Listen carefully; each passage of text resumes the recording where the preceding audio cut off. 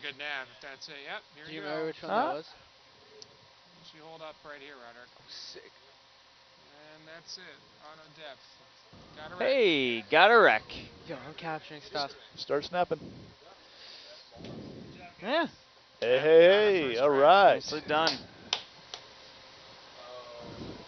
Those of you just tuning in to nautiluslive.org, we have found our first shipwreck of the season.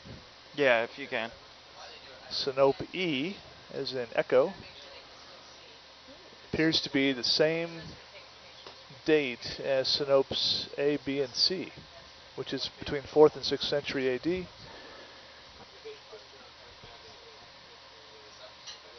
What's our uh, Appears to be about a meter tall.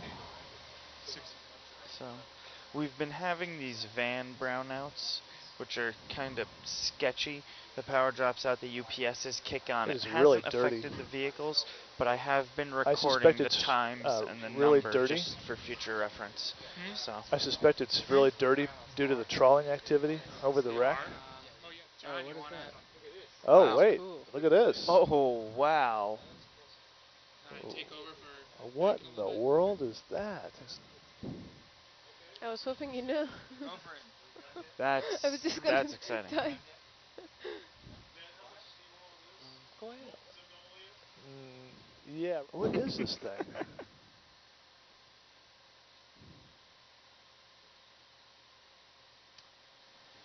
Yeah. Yeah, go. Metallic Got a lot of object? Let's use it.